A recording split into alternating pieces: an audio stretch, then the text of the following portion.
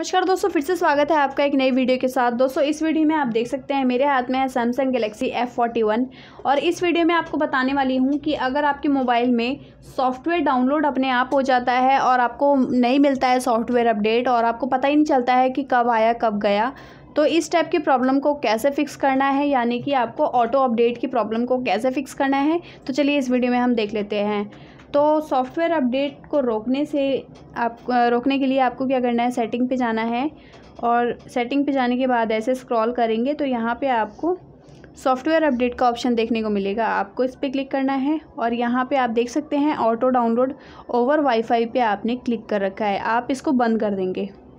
अब क्या होगा? ऑटोमेटिकली डाउनलोड नहीं होगा। जब भी आपका डाउनलोड आएगा तो यहाँ डाउनलोड एंड इंस्टॉल पे आप ऐसे क्लिक करेंगे। तो अगर आया होगा तो यहाँ पे आपका डाउनलोड होना स्टार्ट हो जाएगा। यानी कि आपको दिख जाएगा कि अवेलेबल है। नहीं है तो नहीं दिखेगा। तो इस टाइप से यहाँ से आप इसको बंद कर दीजिएगा। अब आपका सॉफ्टवेयर अपडेट अपने आप नहीं होगा और जब भी आपको आएगा तो यहाँ पे शो हो जाएगा। तो इस टाइप से आप इसे बंद कर सकते हैं। तो आई होप गाइज़ ये वीडियो आपको ज़रूर पसंद आया होगा।